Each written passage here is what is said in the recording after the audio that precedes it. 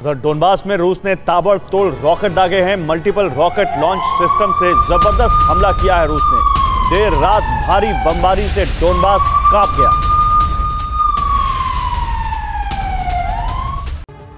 उधर डोनबास में रूस ने ताबड़तोड़ रॉकेट दागे हैं। मल्टीपल रॉकेट लॉन्च सिस्टम से ज़बरदस्त हमला किया है रूस ने। देर रात भारी बमबारी से डोनबास काँप गया।